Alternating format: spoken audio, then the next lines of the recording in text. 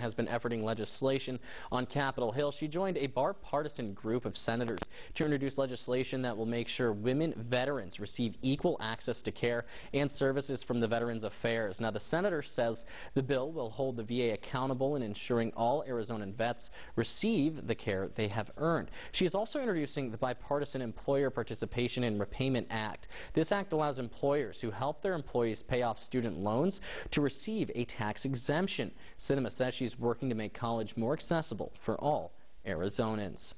And continuing our regional coverage,